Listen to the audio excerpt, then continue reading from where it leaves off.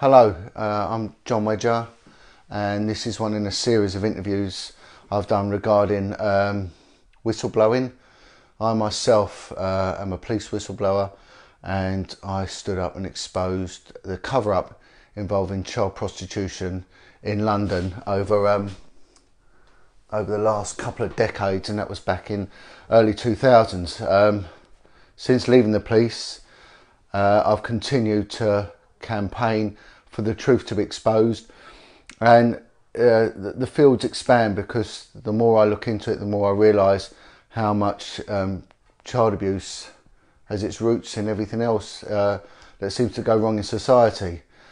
Um, over the past few months, I've interviewed other police whistleblowers. I've interviewed um, uh, people from the well, go from the prison system, and today um, I'm very privileged to be interviewing James. This is James. Um, James, his story very much dovetails into mine.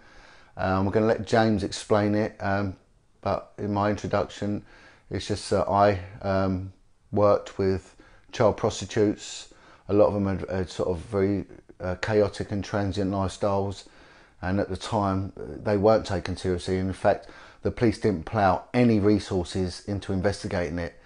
Um, James, his story is very similar to many other victims and survivors of abuse in the fact that James is a, uh, a byproduct of, of the care system and uh, well so-called care system.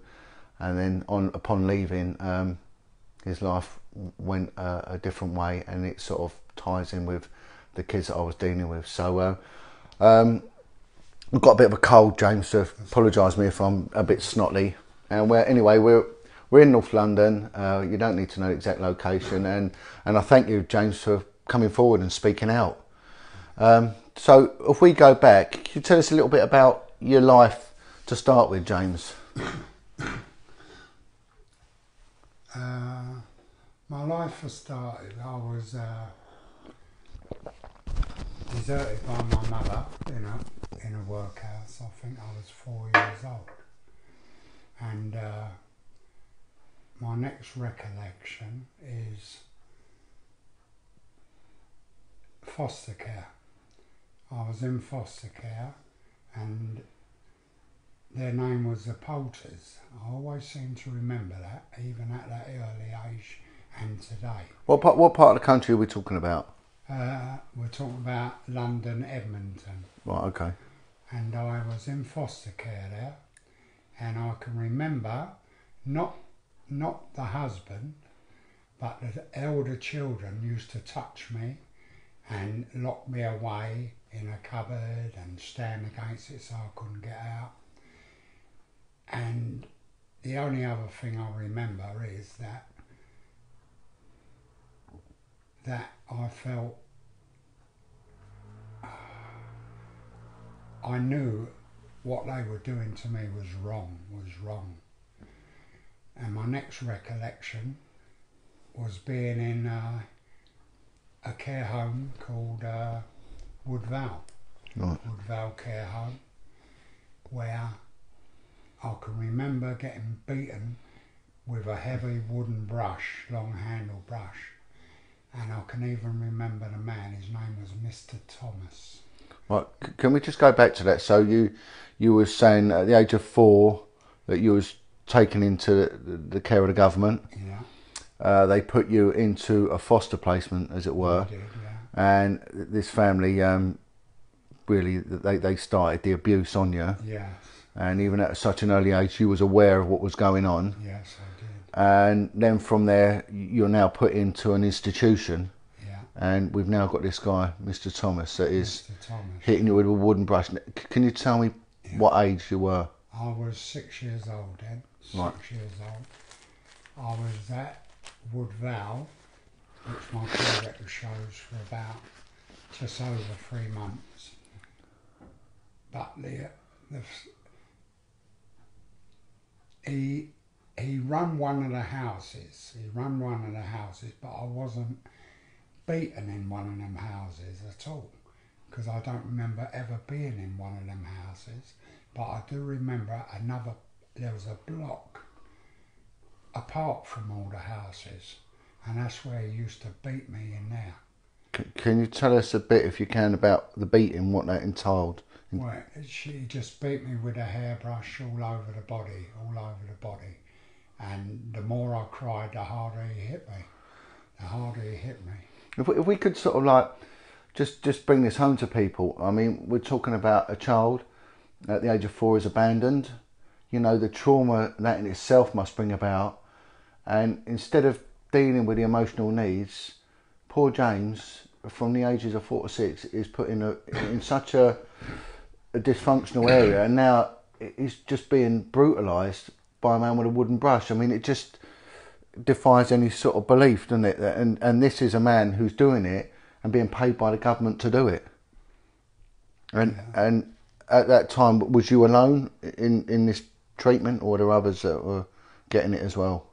I, I, I can't really speak for the others, but you know, I have heard that lots of others have come forward, you know, and not everyone was uh, had a bad childhood there, you know.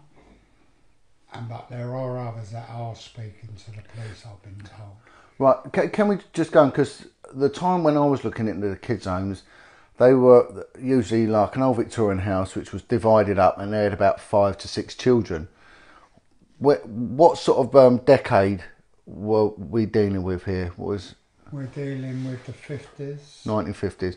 Can, Yeah. can you just explain that, you know, sort of like what the kids' homes were like in them days? Well, in physically. the nineteen fifties, uh, children's homes like Hutton, which is in Shenfield, Wessex, was a vast, vast, large care home. It had three football pitches, cricket pitch, tennis court, their own gym, their own swimming pool, and it used to house 48 boys and girls in every house. And there was about 10 houses Cool. there at Hutton. Uh, I was abused at Hutton, but I was never sex abused at Hutton. But there's a few few children who I, I know as grown ups who were sex abused there. Abused, yeah. I've had a cricket ball thrown in my face by a member of staff because I failed to catch it. And I've been beaten in Hutton and I ran away three times and every time I come back I was beaten and I could name the man who, who used to do that. Mr. Weeks his name was. He used to beat us and put us in cold baths for hours. And what, and what was his rationale for that? Do you ever explain it? What was his? His, his reason for doing it, do you ever explain it? I know you can't answer for him, but. Well, when I ran away, he, he had to stay up. He had to stay up. Right.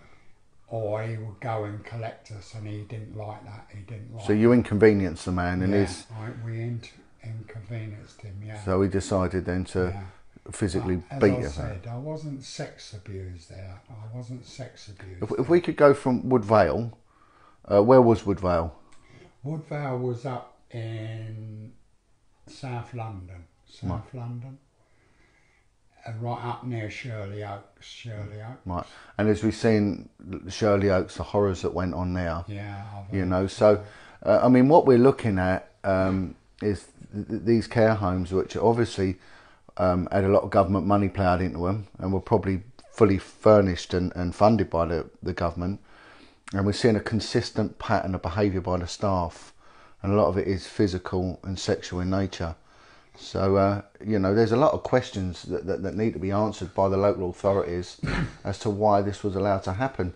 So we, we take Woodvale, we, we, we take it now, move the timeline forward, yeah. The next thing I'll remember is coming out of Banstead Station. I was still six years old, but the memories are so vivid. I come out of Banstead Station. There was a woman holding my hand as we walked along the dirt path by the railway, and she said to me, the exact words, "You have to go back. You have to go back." Now I don't remember ever ever being in Beechholme before. So we're talking about a place called Yeah, Beach Beechholme, Beach Home in Banstead. Banstead, Surrey. Right. But I don't remember being in that home before or being taken out of it. But when I arrived at the home, I, we go through the iron gates, I turn left, and on the right hand side was called the Girls' End. Mm. Now, Jasmine House. Mm. When I entered, I was left, the woman walked away. Mm. I don't know who it was, it could have been a care worker, could have been a social worker, I don't know. But as I was taken in, Miss Cullen, I will name her, Miss Cullen took me in a room, stripped me and beat me badly. What for? I don't know. How old was you, James? I was six then. Six years old. I don't understand why she done that. Was it because I had played up, or, or because I remember being there. I don't remember. I'm sorry, being there before, but obviously I was. So, I wouldn't But- remember that voice of that woman telling me you have to go back. And and I can tell by even your description, of the building there's still strong memories in your head. Oh yeah. Can you can you just describe to us Miss Cullen what what she physically and Miss Cullen was a big set lady. Uh, her name was Margaret Cullen, as I found out, but but the other member of staff used to call her Peggy for some reason, Right. which I don't know. She was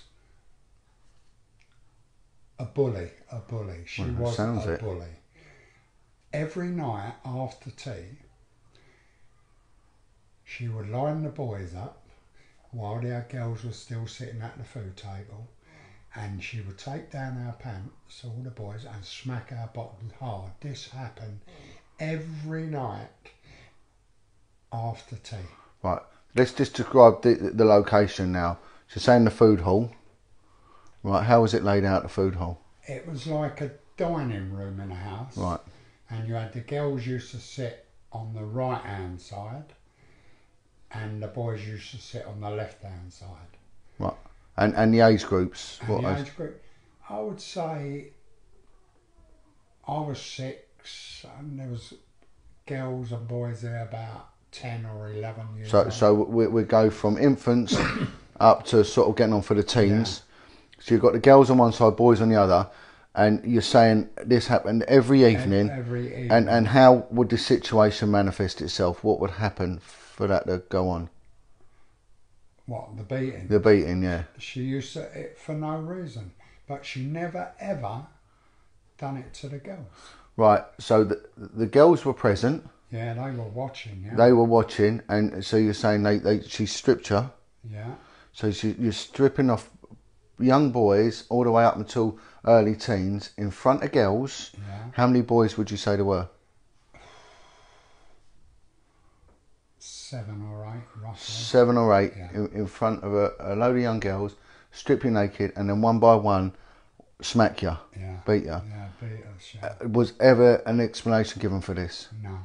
I mean, it, it, all I would say to people that are listening, can you imagine if you have children at that age doing it to your kids? I mean, it is just sadistic and per- perverse in the very least.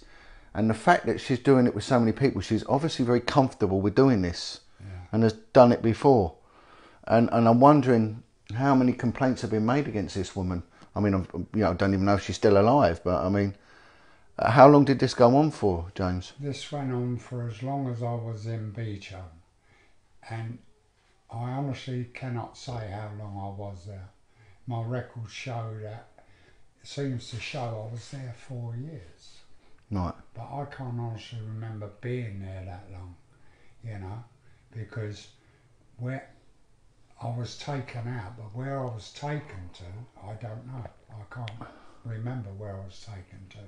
What I can remember though was when they served figs and custard for afters at Yeah. where I was sick into the bowl and Miss Cullen made me eat my own oh. vomit. I mean, oh James, if, if ever you you want to call it a day, you, you just let me know. Uh-huh. I mean, it's just appalling. It, and and do, you know what makes this worse? Is that I've heard similar stories from so many people this seems to see, be like a British disease. This went on in care home after care home after care home. You know, impressionable young kids that have got a gap in their life because of absent parents. All they need is time, love, and support. And these evil, evil bastards are doing this to kids. How dare they? How dare they? And um, James, so if we take your yourself up to ten years old, unless if there's anything in between you need to tell me about, please do. Well, there is. Please, yeah, go on. At, at night times, Right, okay. men used to come into the dormitory and take boys downstairs. They took me down a few times. They blindfolded us and made us face the wall in the little corridor, and we used to stand there. And I could hear men's voices in the room, in the room. And what puzzled me, like, not then, but in these days that I know, there was never ever any staff mem- members in Jasmine House. So Jasmine House was purely female staff. Yeah. So Yeah. these were either men from other houses or from outside the home. And they used to take us one at a time downstairs. And they took me into the, to the room. The women had left because I heard the door shut. They were talking, and they took me into the room. And they spoke and they spoke. And what they did was they forced what I now believe was something hard in my mouth, which I believe was their penises, Right, okay. and told me to suck. And then one of them shouted out, He's no good. He, he's biting.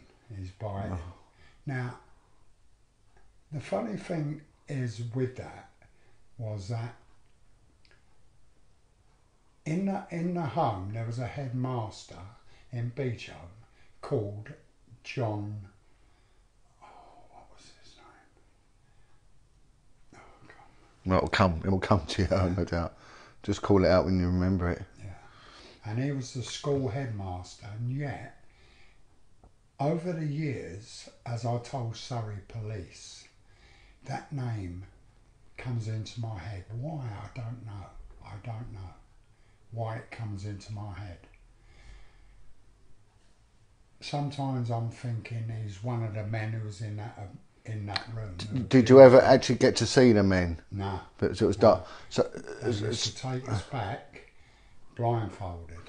so when they when they got you in the room, would you go on your own or were you with other boys? on, on their own because at nights they used to take other boys down. Who would retrieve you from your bed?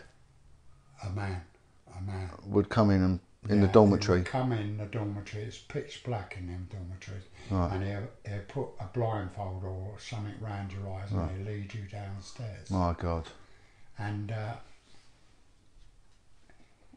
how at calculated! nights, I was terrified to go to sleep. Well, you would be.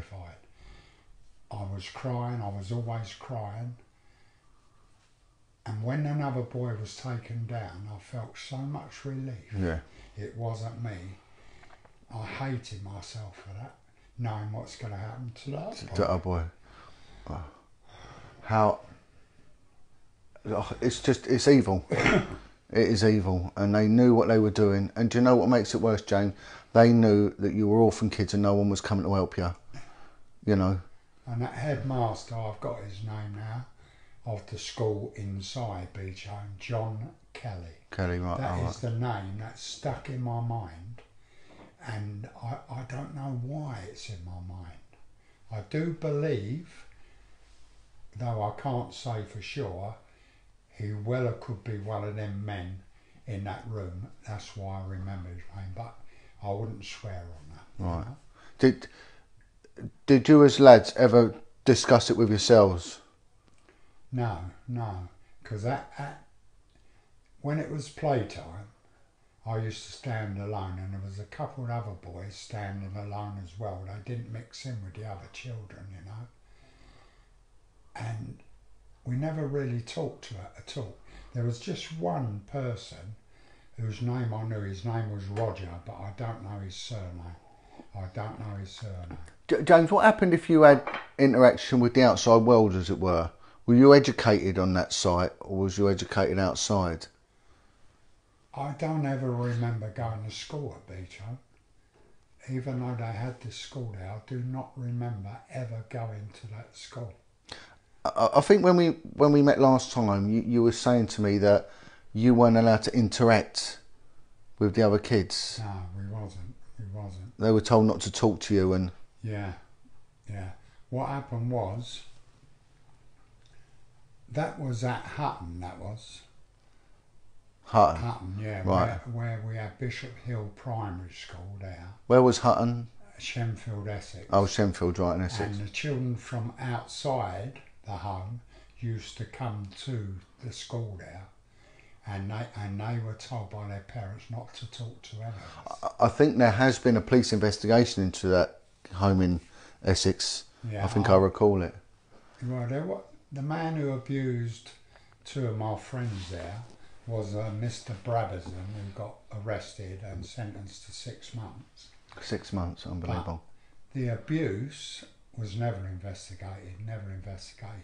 They put it down to corporal punishment was allowed in them days. Reasonable chastisement. Yeah. with them, that didn't include child sex abuse. Yeah, yeah, yeah.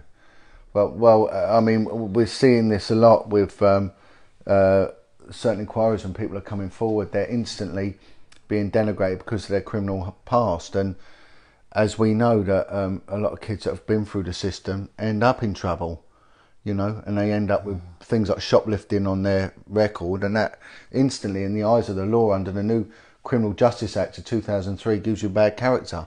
Yeah. So. I've been. I was sent to Borstal. I've done Borstal, yeah, in Gainesville. I've been to prison. I'm not proud. James, you've got to survive in the environment you're in, you know. And I mean, it's it's like most things. This story needs to be told. The UK needs to know what went on, otherwise this will be forgotten about. They'll class it as it was a mistake. We've learnt our lessons. We moved on. They knew what they were doing. This is typical of so many care homes up and down the country. It's almost uniform. We're hearing it time and time and time again, and we are seeing cover-ups time and time. And the other thing, James, we'll get back to the to, to your account, but I want to say it. A lot of these local authorities, they knew what was going on, and they've been advised by their insurers not to say anything. So it's insurance companies that are steering this perversion, injustice, blocking the truth coming out, and shame on them. And we have got this independent inquiry, but we keep seeing that frustrated time and time again. I myself was allocated a core participant status on it. When my evidence went in, which was classed as credible, corroborative, and something else, the government amended the parameters so I was not allowed to give evidence. So we're just seeing constant cover ups. This is going to be, when this gets out, this is going to be a national shame. I, I think this is on the scale of the Holocaust myself. How many people, James, have committed suicide, drunk themselves to death, drug addiction because of the lifestyle that was meted out to them mercilessly in these care homes? This is appalling and it needs to be stopped. But if, if we go back, see, we, we've gone through what was going on at night and then you, you, you're sort of moving through your life into your adolescence. How did things progress from there?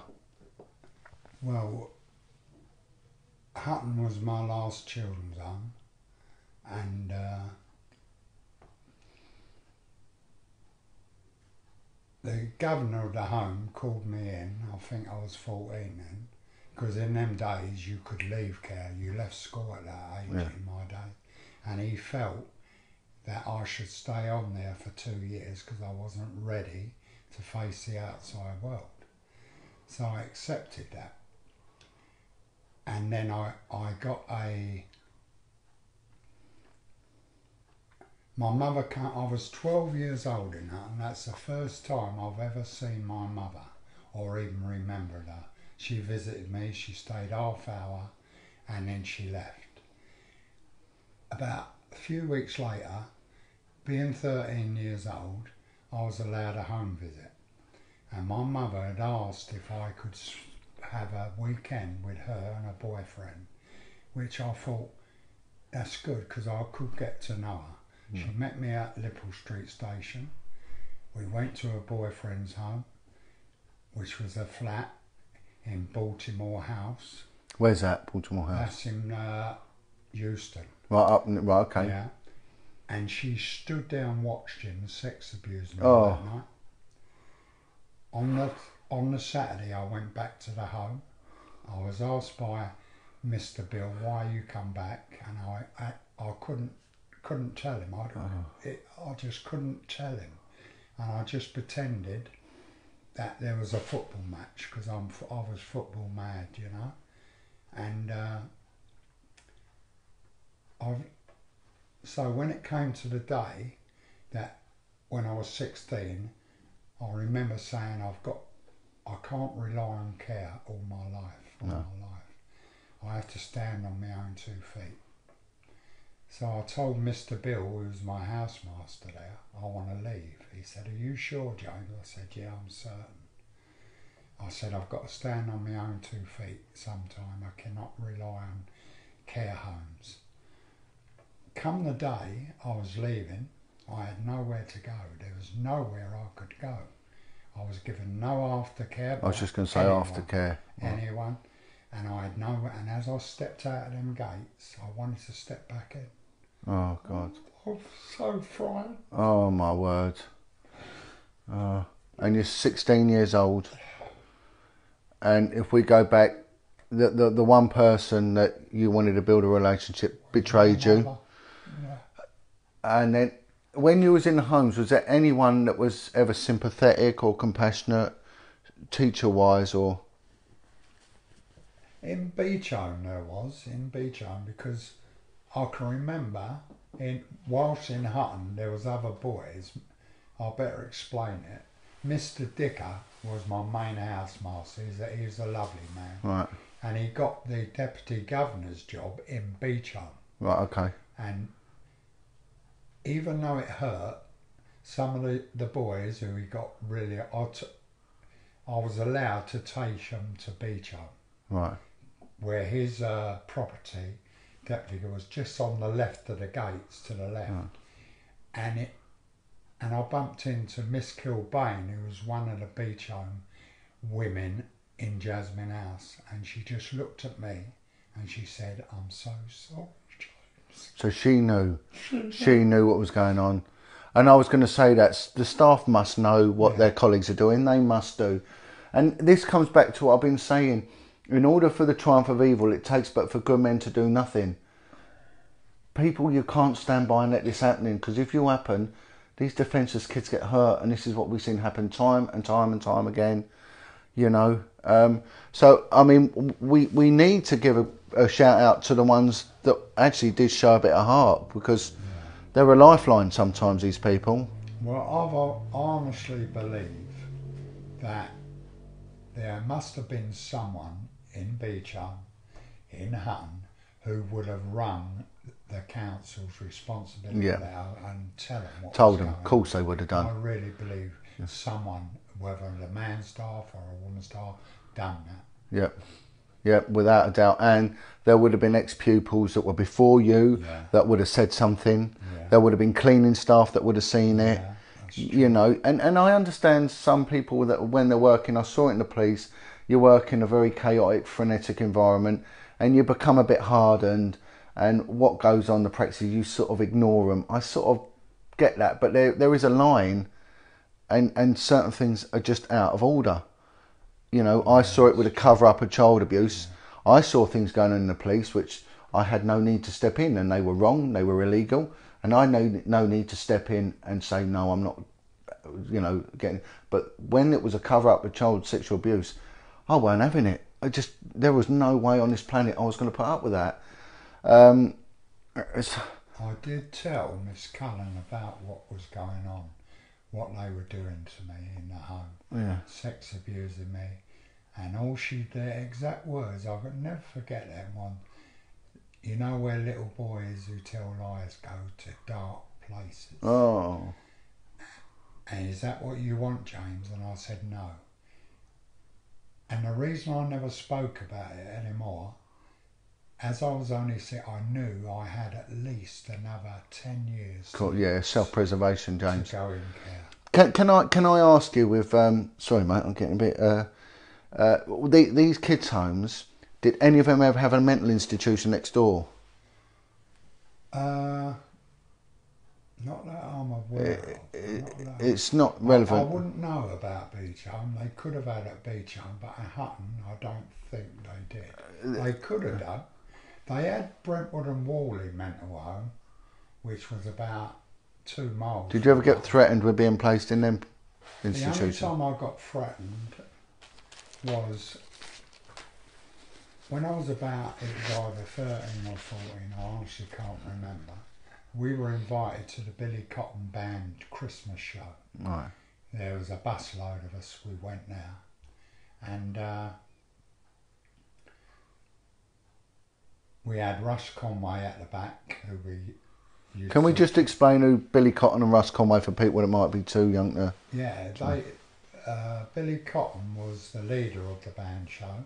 Russ Conway was the piano player of the of, you know, used to come on every show, play the piano. Right. And I went to the toilet, and while I was in the toilet, a man come in, and he said to me, "What are you doing?" I said, "I'm going to I'm going to the toilet." And he come over and he put his hands down my back of my trousers and held my bottom. The door opened, a man came in, he said, What are you doing? And he, he told me to get out, which I did do. And where Russ Conway's piano was behind the stage, he was like entertaining. I, I walked over to him and I waited. I can exactly remember, I waited. And as that man come out, I said, Who's that man there? He said, That's Alan Breeze, the resident singer on the Billy Cotton Band show. Right, and he's the one who assaulted That you. is the one, yeah. And what happened was, when we got back to Hutton, I told Mr. Horovitch, who was the governor of the home, what had happened. He said he'd deal with it.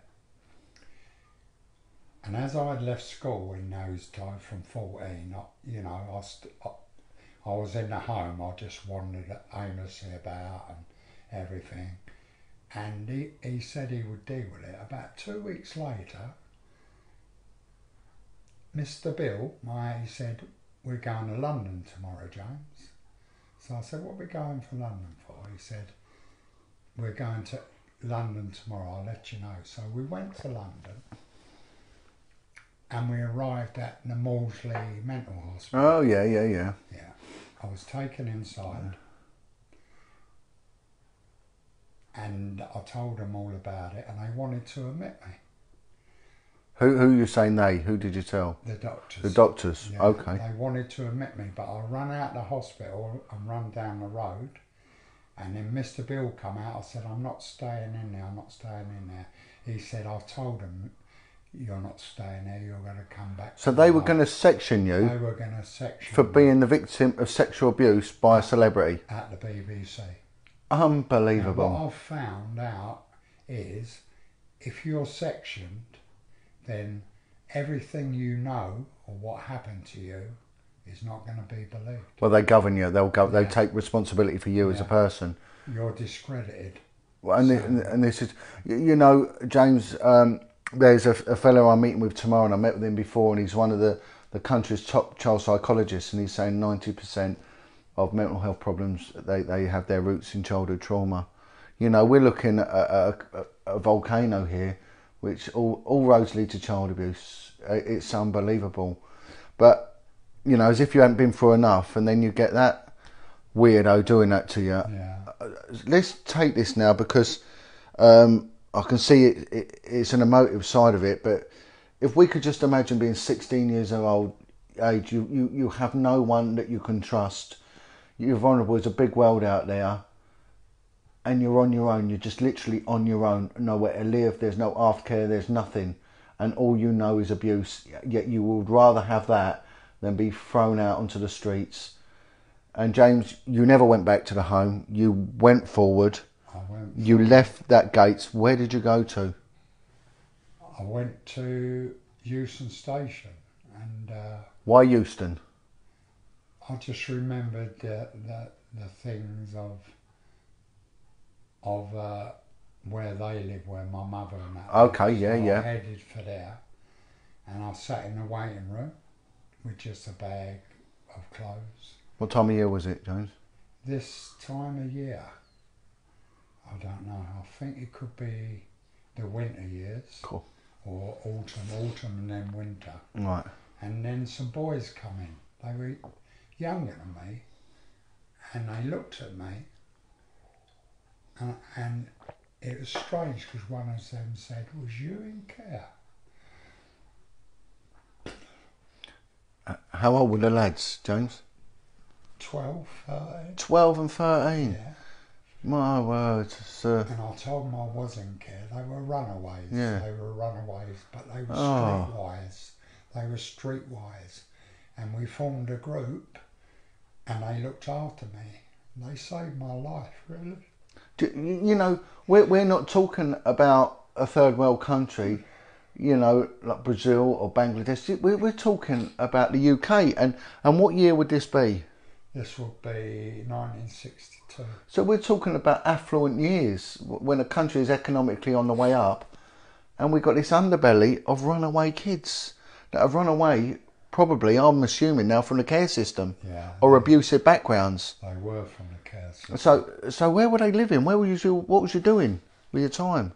What we done, we lived on the streets of that. We started living on the streets. We stayed in a group because you were safer in a group. You were safer. Right? Can you, let's explain that. What part of London? I'm talking about the West End. The West End. Why were you safer in a group? I know, and you know, but if people are listening, for what reason were you You're safer? safer in a group because if you're alone, you're an easy target. You're an easy. You've got to explain that as well. Paedophiles, right? You're an easy target. I mean, I've been to the arcades, I've been to Playland, I've been to all the arcades, you know, and we always stayed in a group, always. Or at least two in a group, two in a group, never on our own. And that's how we lived on the streets. Uh, they knew the places, they were streetwise, they knew how we can survive, how we can get money and I've been with them. I've been with them, two of them to Dolphin Square, two of the boys. I've been to Eccleston Square to a Mews flat. I didn't go in any of that the Mews flats because they just went on their own.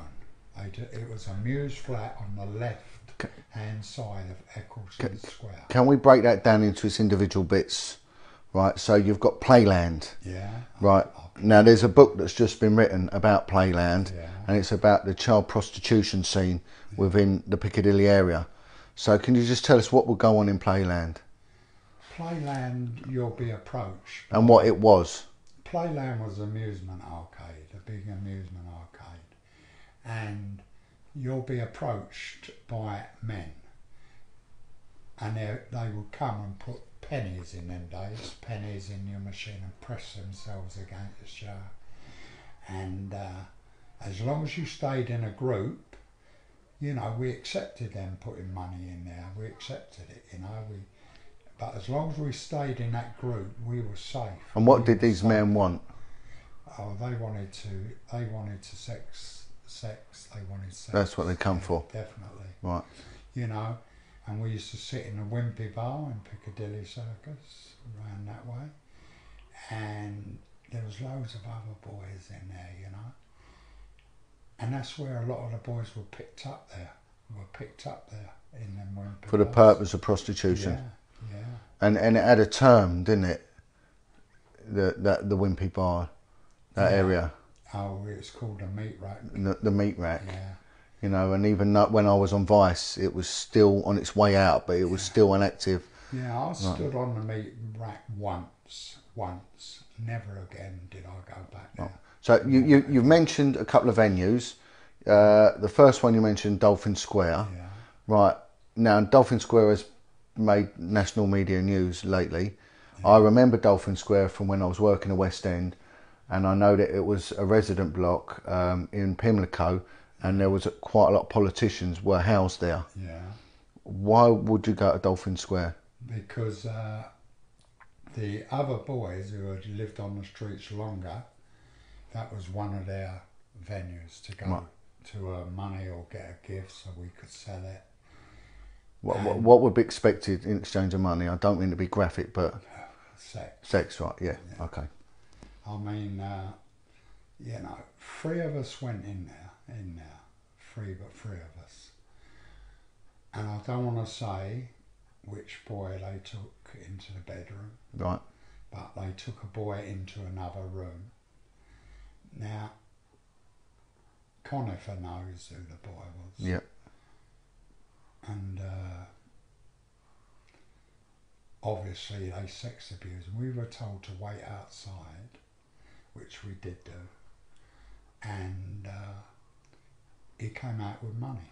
He came out with money, which we ate that day. You know, we ate that day, and uh, we wa- we wasn't rent boys. I, I don't class us. Our class as a survivors Yeah. Yeah. yeah. of the streets.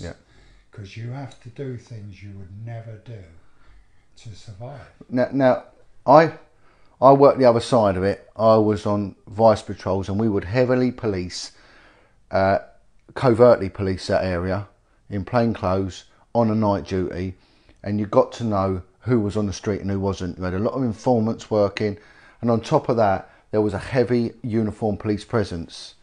Now, I knew of kids that were living on the street, and luckily, I did my best to do something about it. Did you have any interactions with the police at all?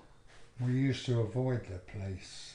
We used to avoid them. Did they know that you were you were about? I believe they did, yeah. Yeah. I believe they did. You see, no one really gave their right name. Yeah. You know, no one gave their Well, you can't blame them, can you? because, as I said, I wasn't a runaway. I had run away three times from Hutton and took back by police, you know, and you know they use aliases, names, you know, these boys, and uh, we used to, as I said, we used to like. Like the minders, they call them minders of the boys, yeah? So I had someone in there and we used to call them the catchers. That was our name for them, the catchers, because if you were caught by any of them, you could disappear off the streets or end up being passed around in paedophile. Did Did you know of any lads that that did happen to? Well, there was one, my best mate, John Hilton, who was uh, having problems at home. I used to meet him every day outside Angel Station. And in the end, he joined the group because he was having problems with his nan and everything, and he joined the group. And one day, while we we were in Playland, all of us, like there was six of us, six or seven of us. I turned round and he had gone, he had gone. So I asked the I said, where's John gone? And they said, we don't know. So we toured, we went out, we walked down Old Compton Street, we Yeah, yeah. checked all the other arcades. And to this day, I had so much help from Twitter, people sending me things, looking for John. He's never been found. Never been found. Do you know? I Never been found. I heard a very similar story of a guy who's probably the same age group as you, same life, and he was saying about he went to get into a Rolls Royce car round by Piccadilly, and saying it's his pimp, but it was his mate. Said don't go in there. The last two boys that went in that car, we never saw him again. He did get in because he was doing a lot of drugs, needed to pay for it, and he was in his early teens. And they tortured him to the point of he nearly died. His whole intestines were so badly damaged you know, and their he said he generally to this day says their intention was to kill me. So there are sexual predators out there that that, that kill, you know, and this is happening in the heart of, of what they always class London as having the lowest crime rate of any Western city. Yet there is this perverse underbelly that I think will rival even the worst third world country, you know. And I defy anyone in law enforcement to say they, they weren't aware this was going on because I know for a fact when I exposed it, I was told by a senior officer, you've got no idea who or what you're dealing with. You've got to shut the F up. So they knew, the police knew, the Yeah. dedicated teams knew what was going on. And I'm telling you now, James, the reason you were con- allowed to continue to do it because they did sod all about it, you know. But you, you, you go on uh, about another venue, Eccleston Square. Yeah. Now, Eccleston Square is in Victoria by the coach station. Yeah, can you explain a little bit about Eccleston Square and what was going on? Well, what happened? We went to Eccleston Square. We entered by Victoria Station, so Yeah, yeah. into Eccleston Square, and on the left there was a Mews House, which a house in but now I know. An old where it is. Victorian type house, yeah. Yeah. And the three boys, they entered it. I didn't go, go into the house, and I, we always knew if you we are separated, you make your way back to Euston Station. Right, that is your little That's focal point. did. And I waited for them, and hours later they came back and they had money. They had money. You know, and after a while, they said, which, you know, may sound not right. They said to me, "You have to earn your keep with us." No one judging you here, James, mate. No, and uh, they were right. I did. I couldn't rely on them all the time, so I ended up as a sex cell in my body. Yeah, I did. I did. Well, like we said, you have to survive in the Yeah, environment you you're have in. To survive. You know. I ended up selling my body. I mean, it's a testament to your resilience. You're still here today. How old are you now? Yeah, I'm 72. 72, you see. So you got this far, and, and it's important this story gets Yeah. told. It is. I mean, there was other venues we went to. Hampstead Heath, we went to. Yeah, yeah it's, it's very The well car known. park there. There was two car parks. Right. One I haven't mentioned was uh, the uh, oh God, I can't remember the name now. Of a pub, is this? It's a pu- ah the Spaniards Inn The Spaniards, right. down Spaniards. We've got two big pubs up there, haven't we? Yeah, and that was a big car park there, and we've been there before. And uh, we, I went into the Jack Straw's Castle car park. Yeah. That's where we used to wait. We Yeah. used to wait. It's a big car park where it used to go down and bear to the left. It's still a car park today, isn't it? Yeah. Yeah. where you couldn't be seen. And and in the in the wooded area is a big gay cruising area, and Oh, it's yeah, still to this day. If police came down into there, we used to run into the woods. What, what what what what is bizarre as well is that I know officers that worked Hampstead, and they were always told stay away from the woods at night. You know there was cruising going on as they call it. yeah. Just next to it is is like a children's like zoo where so kids and families are walking through it, yet the police had a reluctance to go and address the issue. As I said, when, when we were touting up there, uh, if we escaped into the woods, it's vast woods up there. Oh yeah, it's massive, yeah. The police never used to follow us, you know what I mean? But what would go on in the car parks? You know, we we don't need to be graphic, but there'll be some people go, well, so what? It's a car park. What? There wasn't just us there, there was other boys, older boys, younger boys, and cars used to pull in and pick these boys up, pick these boys up. And there is one thing I have to say. Yeah, you go ahead. when me and John once were walking through Grosvenor Square, this car pulled up and he asked if we wanted a lift. So we said no and just walked on. Grosvenor Square is in Mayfair. It's where the American Embassy is. Yeah. So we w- no, we said no because as we walked on through Grosvenor Square down the side, you come to Piccadilly. Yeah. Well, anyway, it, it didn't dawn on me. It didn't dawn on me. But when we were up in Hampstead in the car park one night, this car pulls up, and this man gets out. The other boys knew him. They said, "This is Uncle Eddie." Right. And when I looked at him, I thought, "I know that face. I've seen him before. I've seen him before." And it was Edward Heath. It was Edward Right. Heath.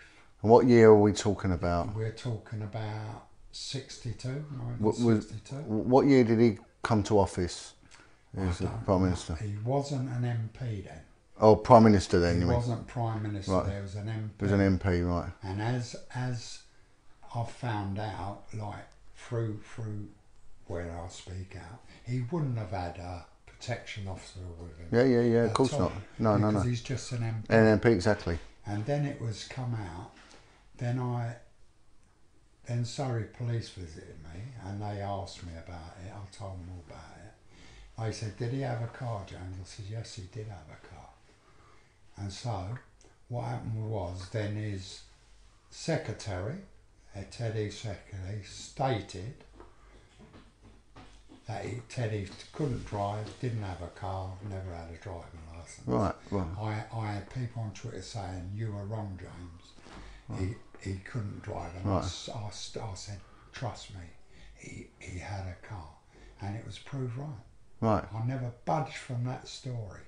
I knew who I saw and I knew who it was. So, so they're trying to discredit you by saying that it couldn't have been him because he don't Yeah. drive. And he didn't. And you said, well, this man did drive and he had a car. Yeah. And it later came out in the national media that, that he did drive himself. And he did have cars. You know, And he had a set of what- false number plates as well. Ah, uh, y- y- it just shows the level of cover up. Now, now we see that with um, someone who, who's very influential to me, and that's a chief constable called Mike Veale, and he was the chief constable of Wiltshire. He proceeded with the allegations against Ted Heath for the abuse of children, and they went out their way. The national media, even th- this week uh, weekend, we had the Daily Mail trying to attack him, um, just by stating, you know, this is what happened and they, they, they virtually tried to destroy that man. So this just goes to show that whenever anyone speaks out and says the truth, we get attacked. And then you get lawyers and the police that are overzealous with contempt laws.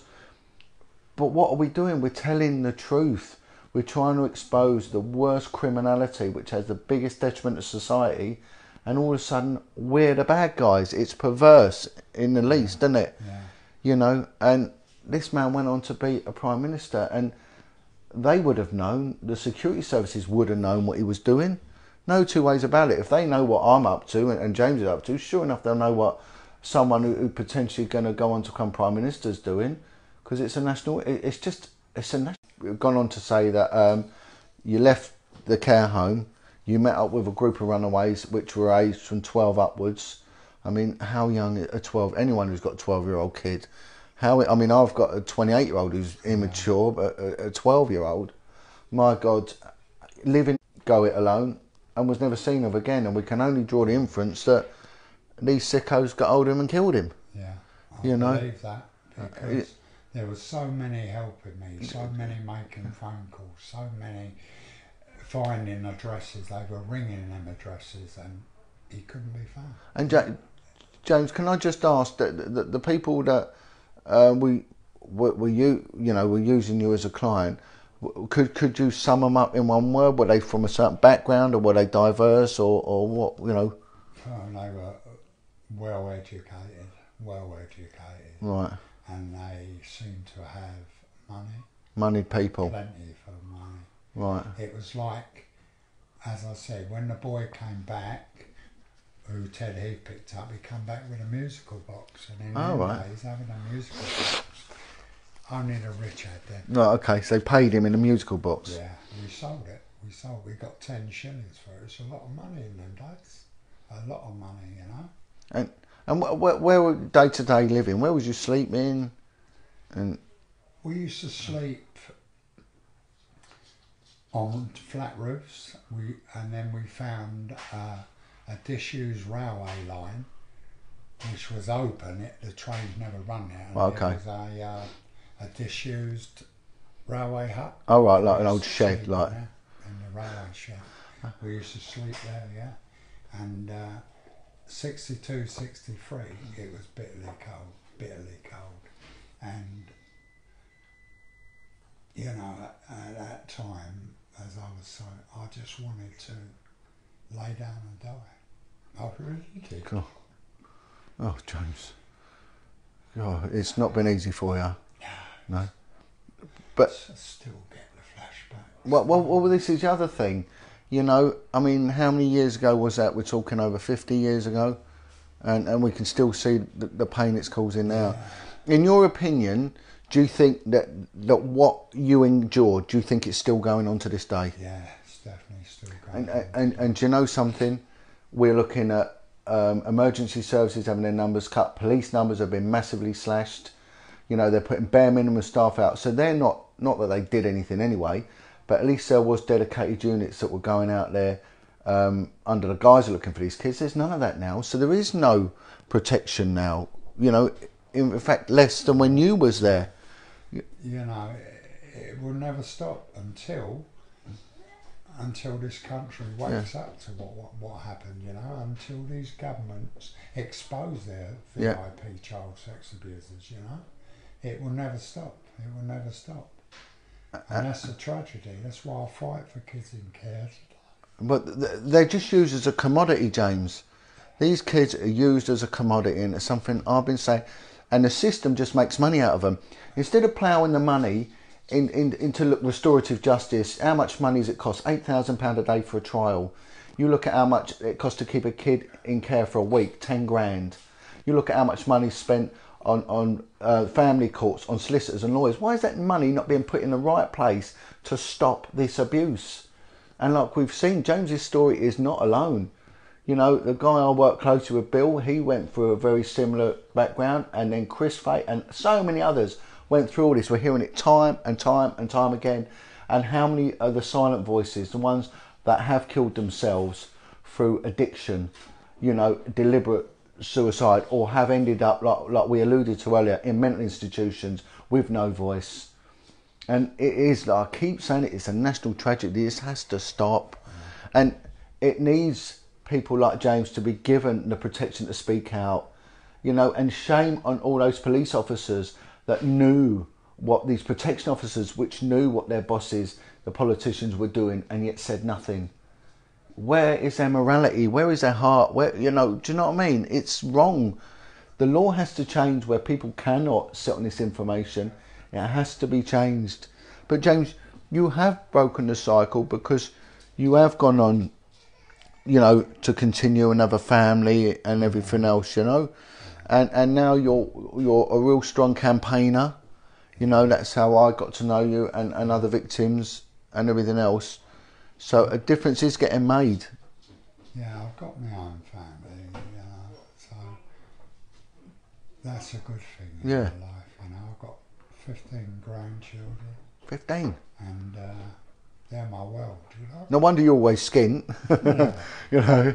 Well, but they're my world, you know. of course. And, uh, you know, when I look at them, I don't want other children to go through with what I had to Mm, yeah, suffer yeah. In, in my childhood Right on. on the street. Yeah. That shouldn't happen to any child. No. Aftercare has to be given to every child in care, no matter what age they are. Well, well, well, we've got to stop them going into care in the first place. I know that things break down in the home, and unfortunately, circumstances arise where the government need to intervene. Everyone gets that. No one's got a problem with that. But what we we can't have is when there is endemic systemic abuse. And if we go back to what you were saying, James, about uh, Mrs. Cullen, what she was doing was calculated and perverse, and it was a ritual that she did every day and she enjoyed and it. and she enjoyed it. And not only that, when she was doing it, you can't tell me other staff never saw her doing it. They knew what she was doing, and and you think that woman would have then gone on to the educational authority and reported back saying our children are healthy, they're attending, they're alert, they're and she'll be getting a good living wage for doing what she's doing. Like one of the staff members there, I'll mention Miss Cullen, there was a Miss Malden there who left Beechholme to work in Shirley Oaks. Now I no doubt the Shirley Oaks team will be aware of her. Yeah. You Miss know, Malden, And, uh, and for those who don't know about Shirley Oaks, it was the largest children's home in Europe, and uh, we're just seeing now through the campaigning groups, for the survivors groups, what went on there. And then we're having another one that um, Bill Maloney exposed up in uh, Medomsley Care Home. They've now got, I think, Yeah. fif- 1,500. Two came forward at first, now 1,500. Uh, we saw it in Haut de la Garenne in Jersey. We're just seeing it boom, boom, boom, uh, you know, constantly, constantly coming out.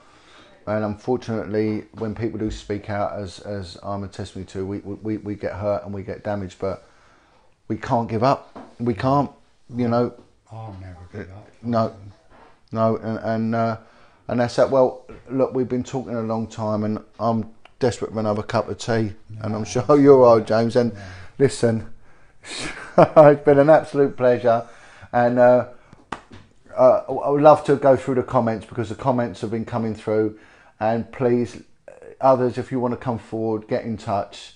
um, and let's see if we can sort this all out together. God bless you all. God bless you, James. Thank you so much. Uh, let's stop this. Oh, sorry about this. I'm gonna have to. Uh, uh, uh.